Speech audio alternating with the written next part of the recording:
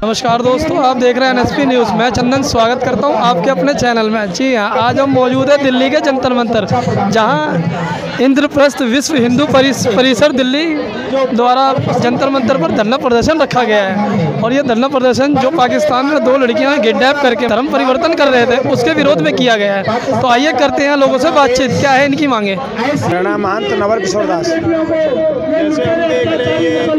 बजरंग दल यहाँ पे आज इकट्ठा हुआ दिल्ली के जंतर मंतर पे आप भी आए हुए किस चीज़ को लेकर आप लोग इकट्ठे हुए आज विष्णु प्रसाद अभिनंदन के माध्यम से पाकिस्तान में जिस प्रकार से हमारे अल्पसंख्यक वहाँ जो हो चुके हिंदुओं पर अत्याचार हो रहा है, वहाँ हिंदुओं का कोई परिवार सुरक्षित नहीं बहन बेटी सुरक्षित नहीं।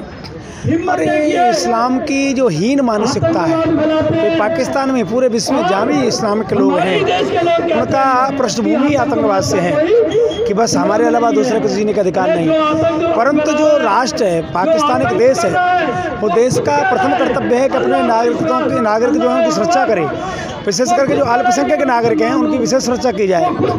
परंतु पाकिस्तान जैसे हीन मानसिकता वाले लोगों को कौन समझाएगा? इसलिए हम जानना चाहते हैं कि आज मानवाधिकार के लोग कहाँ गए? जो मानवता की बात करते हैं, जो समय संरक्षण की बात करते थे, वो कहाँ है आज? दस साल की बच्ची, बारह साल की बच्ची, पंद्रह साल की बच्चियों को घर से उठाया जाता है। उनको ज़बरदस्ती ए के सैंतालीस की नोक पर या डरा करके कहा जाता है कि इस्लाम कबूल कर लिया जिसको यही पता नहीं धर्म क्या है, अधर्म क्या है, पाप क्या है, पुण्य क्या है। उन बेटियों को साज से घिनौना अत्याचार हो रहा है और मानवता को कलंकित करने वाला है। इसलिए हम पूरे, एक तो पूरे विश्व के लोगों से, विश्व के मानवाधिकार के लोगों से आग्रह करते हैं कि अविलंब वहाँ हिंदू समाज पर जो अत्याचार हो रहा है उसे बंद किया जाए और हम अपनी सरकार से और वहाँ की सरकार से भी कहते हैं कि हमारे हिंदुओं को हमें वापस कर दो यहाँ से अपने कठमूल्य ले जाओ। ये तुम सुरक्षा नहीं दे सकते हो। हमारे यहाँ कोई भी समाज का चाहे मुसलमान है कोई और है सब सुरक्षित हैं क्योंकि हमारा कर्तव्य साथ है हमारा नागरिक है कोई भी सुरक्षित रहना चाहिए। तो सर ये बजरंग दल है इसने क्या काम किया? नहीं बजरंग दल किन किन हितों में काम किया बजरंग दल ने? नहीं बजरंग आप लोग विरोध करने बैठे बजरंग दल कहा विश्व का काम है कि पूरे विश्व में कहीं भी हिंदू समाज के साथ कुछ अनाचार, अत्याचार होता है, उसकी आवाज़ उठाए।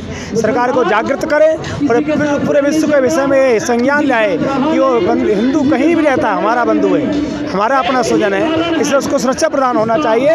हम अपने देश की सरकार से ही मांग करते हैं। जैसे, वैसे हमारी सुषमा स्वराज ने अविलंब उसने एक्शन लिया।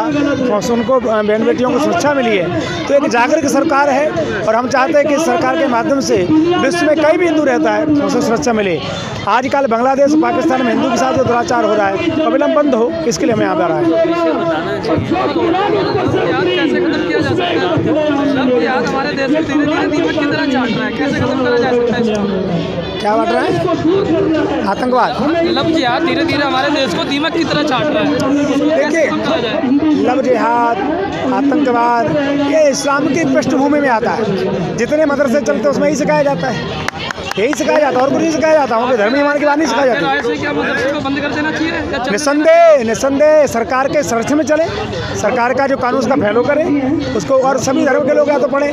हमारे यहाँ संस्कृत विद्यालय हैं। बनारस में आपने देखा दो साल से एक मुस्लिम लड़का फ़र्स्ट आया। तो हमारे यहाँ तो कोई भेदभाव नहीं। मदरसों में बिना मुसलमान का कोई दूसरा नहीं पढ़ सकता क्योंकि पोल पट्टी खुल जाएगी वहाँ पढ़ाते कुछ नहीं है। राष्ट्रद्रोह के अलावा मानव द्रोह के अलावा कुछ और कोई पढ़ाया नहीं जाता।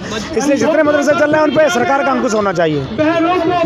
ज्योति ये बजरंग दल का नहीं है, पहले तो मैं आपको ये बता दूँ, ये पूरा वी है और इसमें बजरंग दल भी है और सारे काफ़ी मतलब जो संस्थाएँ हैं, जो यहाँ के लोग हैं, वो उसको पार्टिसिपेट कर रहे हैं। तो पूरा संगठन का प्रोग्राम है और पूरा संगठन इसमें मतलब प्रोग्राम में पार्टिसिपेट तो किन चीज़ों की आवाज़ उठाने के लिए आज इकट्ठे हुए?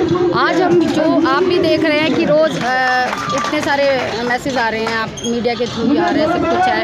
और पाकिस्तान में 45 दिन के अंदर जो उनतीस लड़कियों का अपहरण हुआ और उसके बाद उनको ज़बरदस्ती इस्लाम कबूल करवाया गया हम उनके जो अधिकार हैं उनके अधिकारों के लिए यहाँ पे इस तरह का विद्रोह प्रदर्शन कर रहे हैं।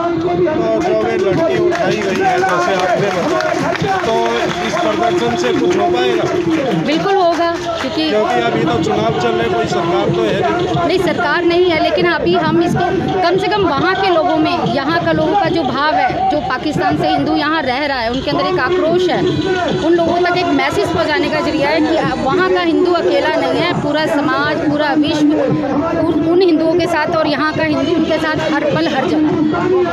एक छोटा सा एक छोटा सवाल कश्मीर कश्मीर से पलायन ढूंढ रहे हैं हिंदू।